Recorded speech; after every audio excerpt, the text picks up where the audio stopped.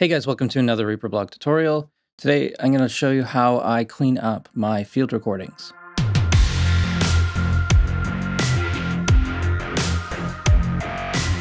So I've actually done a video about this a couple years ago.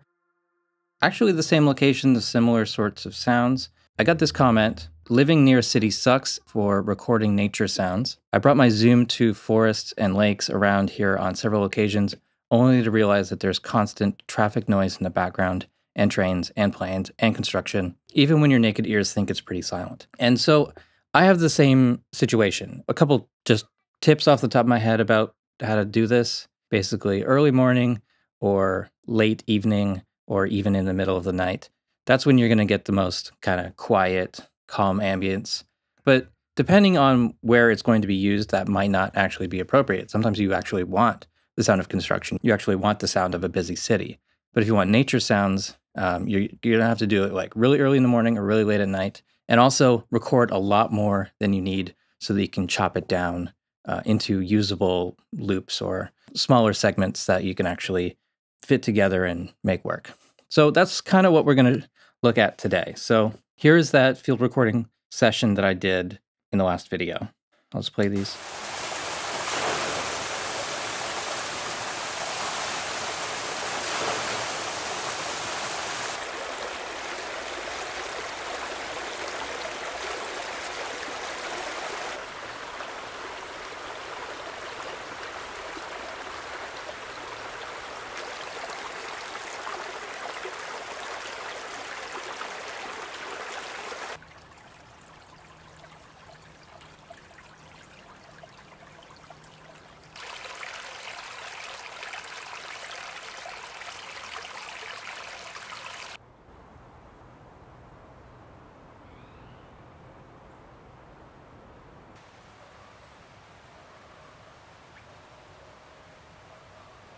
The most difficult ones here to manage are these super quiet, uh, really calm ones like this one here. And that does sound quite a bit like what it actually sounded like in the in the actual space. As I was sitting there, there was sort of this constant, like, hum of the city, of like a slight breeze in all of these trees and all of the leaves moving. Uh, there's a couple points where the wind picked up and um, you know there's branches hitting each other and there's sticks breaking and there it, it's it's a quiet environment but it is a very noisy environment. There's lots of things going on. And it's up to you to decide how much of that is useful. Are you just using it for your own um, music or film work or do you want to sell this to someone or do you want uh, someone to use this in their films? You know sometimes that stuff's useful if you want it to be like just long capture of of that moment in time. But for me, I think I want these to be kind of uh, universally useful. These to be useful in not just my own work. So what we just heard was after editing and after a bit of processing. So things have changed slightly in the way that I work since uh, the last time. Um, the last one, I think I had noise reduction, EQ, channel operations, MS um, processing, maybe a couple other things. In these ones, I'm not doing any denoising, but I am using the Ozone 8 equalizer with slightly different EQ settings, especially on this band 7. So they're all in roughly the same spot, but this band 7, which is a band shelf shape, is moving around. And you don't have to use this EQ. You can use ReaEQ, you can use the Tone Boosters EQ, you can use FabFilter. I liked this one because of this band shelf shape. I thought it was it was really effective, sort of as a noise reduction tool. This recorder or this space that I was in, it kind of had the, these common problems in each location, and uh, this was well, this just had a better sound than using a bell shape. I'm going to go through all of that later on. And the other thing that I did here was using uh, Klanghelm's VUMT Deluxe and just balancing the left and right because sometimes when you're in these locations maybe on the right side there's there's a little bit more traffic compared to the left side or uh, just the angle where it sounds right in the headphones at the time isn't quite balanced you don't get any control over left and right um, with when just a single knob of control here you, you adjust by placement. But in a lot of these locations, it's like you can't be straight at it. Like here, I this is as close as I could get to this location. The left microphone was picking up a little bit more than the, right, and so it needed some adjustments. So these two knobs adjust for each of the um, each of the locations. You can see that the left trim and the mostly the right trim is just adjusting. Mostly up, sometimes down. Depends on where I was going with it. Um, as well, I'm also doing in MS mode. I tend to like a little bit of a side channel boost, and I'm also monoing pretty much everything below 80. Um, for this is that's just my personal choice. I I prefer hearing it like that. So we're gonna go over to another project, and here we have the uh, just one of those locations. This is the raw file, full length, right? And so it's synced right here. There's no effects on it right now.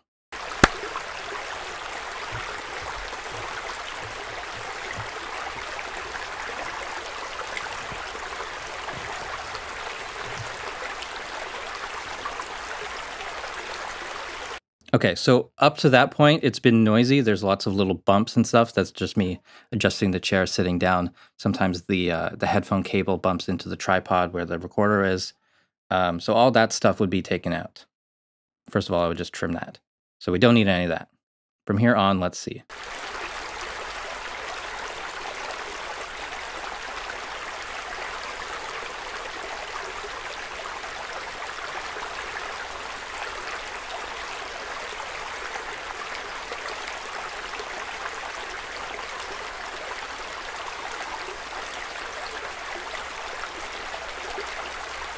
Pretty much up to that point has been good, other than maybe 10 seconds here or so.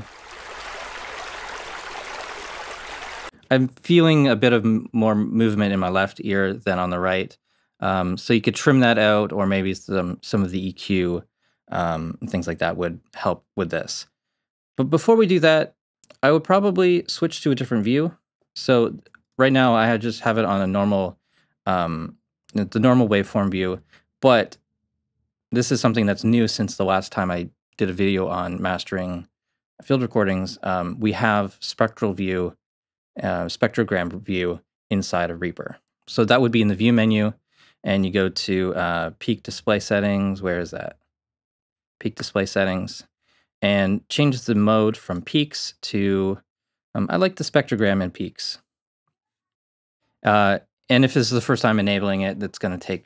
Um, it, it could take a minute uh, to process all that audio because these are these are actually really long files. Uh, this was about six minutes or so, and we're going to cut it down to maybe two to three minutes of usable kind of loopable um, bits. Also going to boost up the level. And by the way, that's the same as holding shift and pressing the up arrow. That's going to move it in like 1 dB, quarter dB increments, something like that uh, up and down arrows will do that. So there's the spectrogram and the waveform view. We could also switch it right to spectrogram. And because this is a stereo file, we have two spectrograms. Uh, there's also spectral peaks, but that's not really going to show us anything in this sort of file, which is, you know, mostly quiet noise, continuous. There's not really any pitches here. Spectrogram, I can double click to reset. You can drag this around. There's some special events here. Let's uh, see what that is here.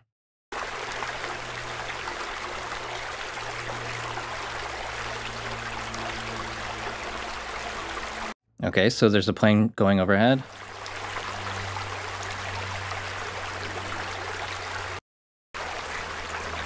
We all know that sound. There's a truck. So in this case, this is a section where I could probably just cut all of that. And something I like to do to just to make sure that it's seamless. So I'll enable looping in the transport bar. So what I want to do is play and skip the time selection. So I want to play from somewhere before my loop points or my time selection, and we're going to skip the section and jump right to the end just to see if we have a good uh, loop point. Um, so I have a shortcut for that. I use Shift Command Spacebar. Let's try that again. I can kind of hear when that's changing. Let's go right to here.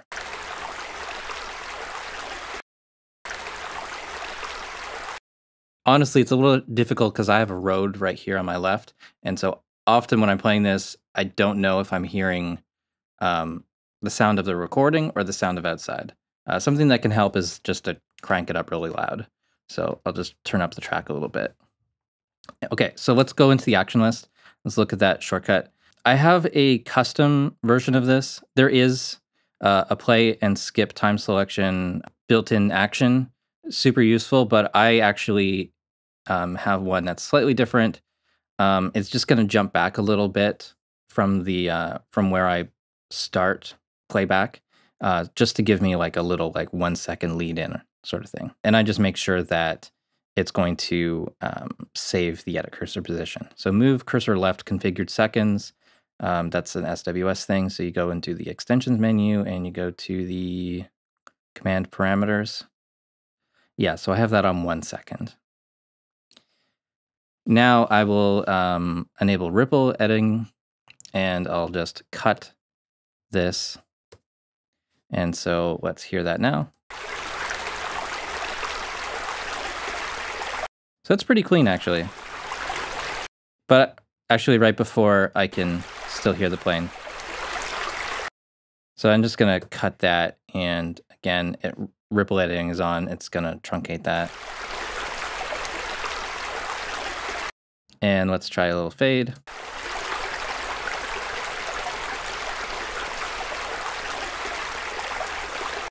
Yeah, so that's pretty clean now. There's another thing here.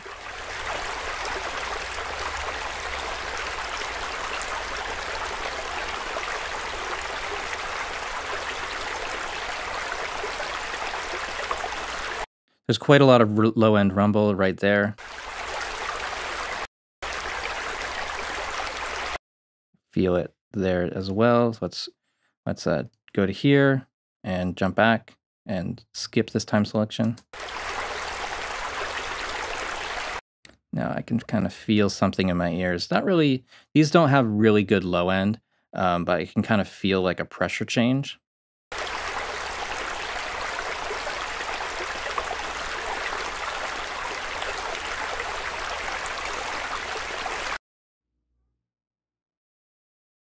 Okay, so there was a low, low end rumble uh, in real time, not in the recording, I think.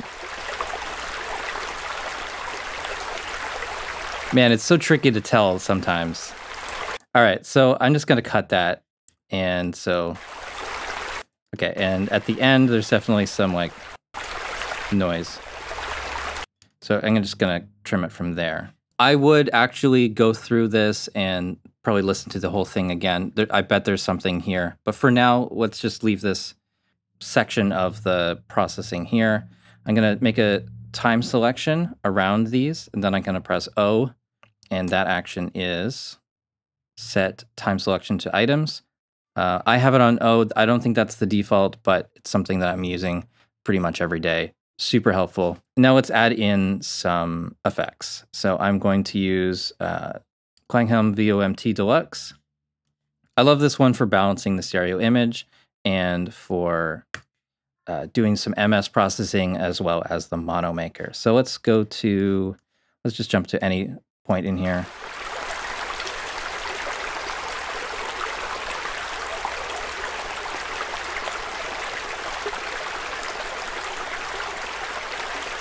Okay, and I'm going to look at the meters uh, on the left here and ad probably adjust the right trim just a little bit to balance this out a little bit so it doesn't sound kind of lean to the left.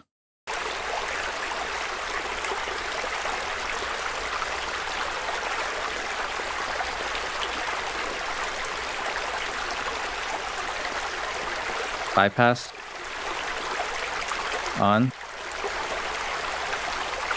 All right, and we'll go into the MS mode and just give it I like a 2 dB bump. You could do less, you could do more. But let's just give this a try.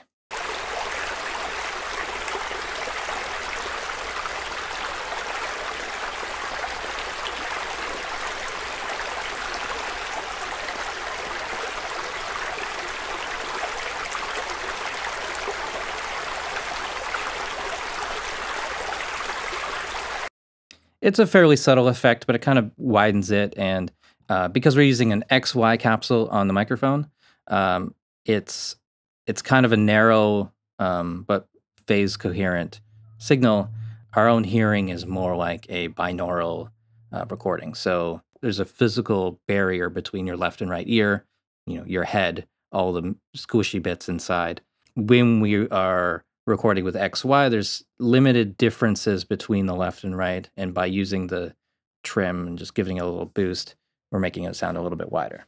Anyway, I find that doing that also kind of brings out some things that I dislike about this, uh, about this recording. So um, I've been using the Ozone EQ because it has that band shelf mode, but there are a lot of other EQs that have that.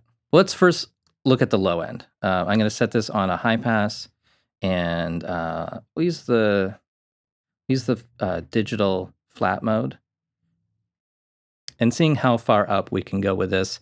It's unlikely we'll go above 100, um, but if we do cut up to about 100, we will take out a lot of the um, you know the city rumble and stuff we don't want.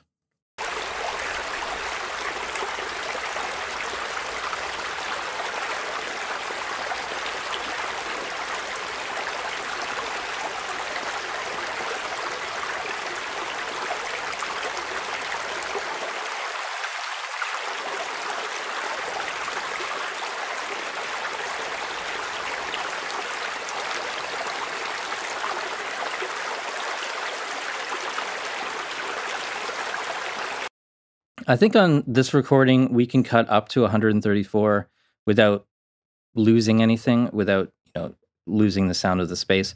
You know, this water doesn't generate a lot of low end, um, so anything that's uh, coming in here is just going to be noise we don't want.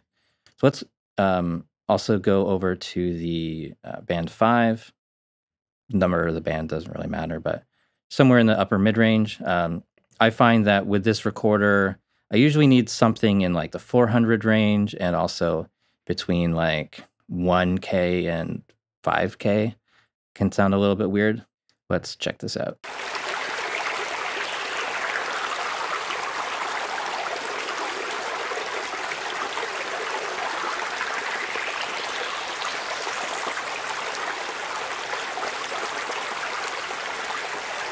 right there is pretty sizzly. Um, maybe this is not something you actually want to have in there.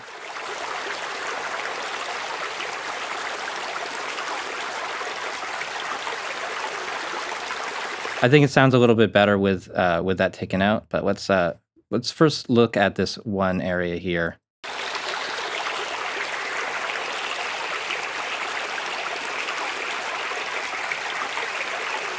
There's something at 2.4 I really dislike. Um, let me compare the different uh, shapes here. There's normal peak mode, proportional Q, and and proportional Q just uh, kind of changes that corner. So it's it's going to be kind of a wider Q when it's not a big cutter boost, uh, but when it is, it gets tighter as well. Into this one. And then there's band shelf. And I really like this one because I can affect a wider area and do a little bit less, less EQ moves.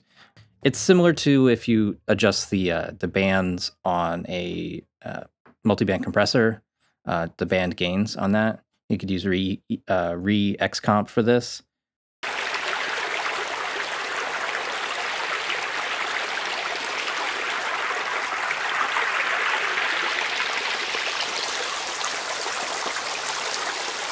All right, so right there we're we're like frying a steak along with like boiling potatoes.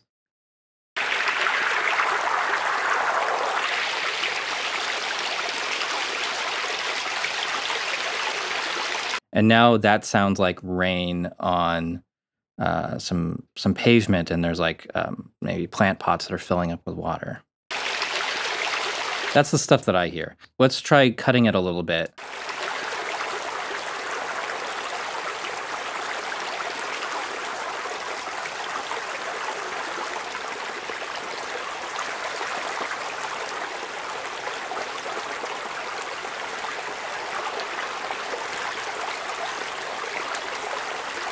So I find that really kind of calms down the sound and makes it more easy to listen to. Um, yeah, I, I just prefer that sound.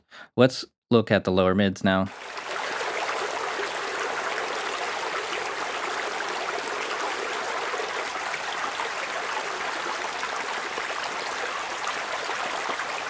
And gain matched before and after.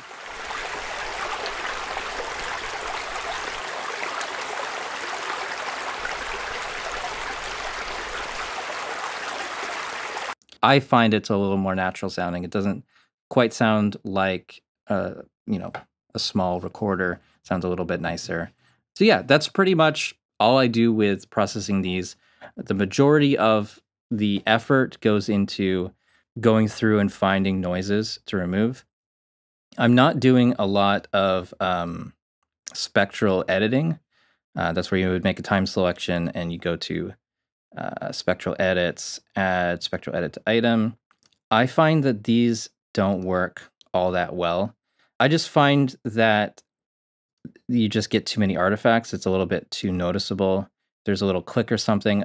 I find it much faster or more effective to just either take a section from another part and replace it by doing, oops, turn off that, take a section like that, replace it.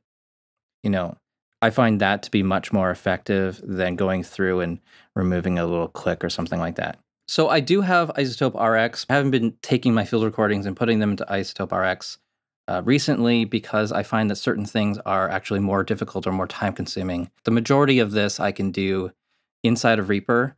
I love having a real time effects chain um, so I can constantly tweak these. And in RX, you would have to commit all of these effects and you know have multiple versions if you ever wanted to change something. It might be cool to print my my channel operations, but then being not being able to adjust my EQ is something I can't really handle. I I need those things.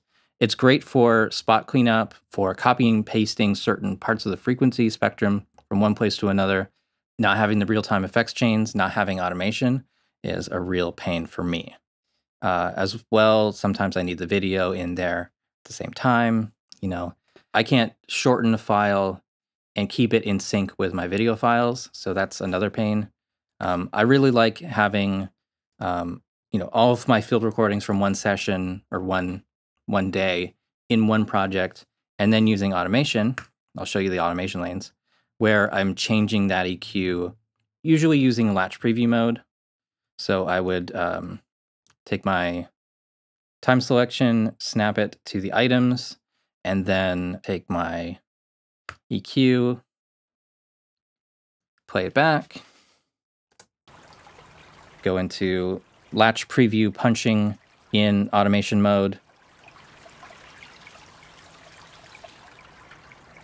Okay, I like that.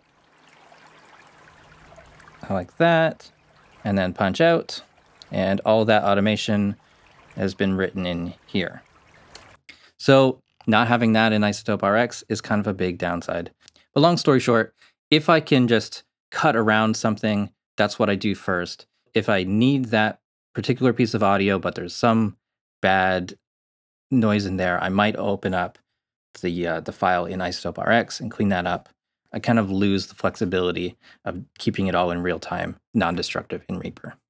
So, to summarize all these tips, if you need a quiet ambience, go early in the morning or late at night when there's fewer people around, less traffic. Record more than you need a two or three minute loop, then you need to record six to eight minutes long, um, just to give yourself lots of clean stuff that you can remove traffic or people or anything um, just using really quick loop based editing. Check your loop points, um, use that uh, playback, skip time selection action. use that a lot. Get fast with the ripple editing modes. If you need to, edit at the zero crossings uh, really helps, uh, making sure that if you're going to edit something that's uh, going into a positive voltage, when you end that edit, it's going to continue into a positive voltage so you don't get a pop or, or a click or anything. And if you still get one, it's usually acceptable to add in a bit of a crossfade there. Then when it comes to processing, um, I like to do any channel operations, balancing the left and right, maybe doing some mid-side processing, uh, monoing the lows. Um, that's kind of a personal preference of mine to mono the lows a little bit.